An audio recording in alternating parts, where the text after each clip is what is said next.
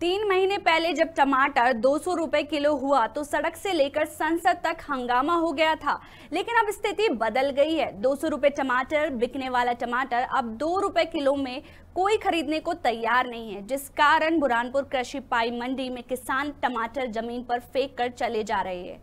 लोग बकरी और जानवर को खिलाने के लिए लेकर जा रहे हैं।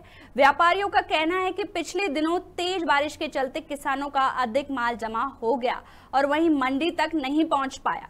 जब इकट्ठा माल मंडी में आया तो टमाटर के दाम गिर गए, जिसके चलते किसान अब अपने टमाटर फेंकने के लिए मजबूर हो रहे हैं।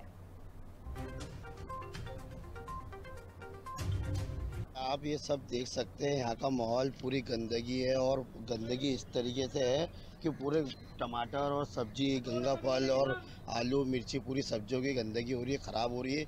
और बस्ते बस्ता हालात है जो टमाटर दो सौ रुपये किलो एक सौ पचास रुपये टमाटर अभी बहुत सस्ता हो गया है इसके कारण पड़ा हुआ है। अभी क्या किसान को दाम नहीं मिल रहा है? पहले दो सौ रुपये किलो बिका। दो सौ रुपये किलो बिका था जब बहुत हंगामा हो रहा था। अब ये पचास रुपये क्रेट भी नहीं बिक रहे जब कोई आ रहे नहीं यहाँ। ऐसे टमाटर फेंके जा रहे हैं। रोज के फ़िक्र टमाटर। रोज के इतने टमाटर। ये किसानों ने खराब हो गया पानी से तो सब पिक पिक के चले गए पचास रुपये क्रेट बिक रहा था। ऐसा? तो पहले तो ज़्यादा भाव बिक रहे थे सौ। माल ज़्यादा आने से पानी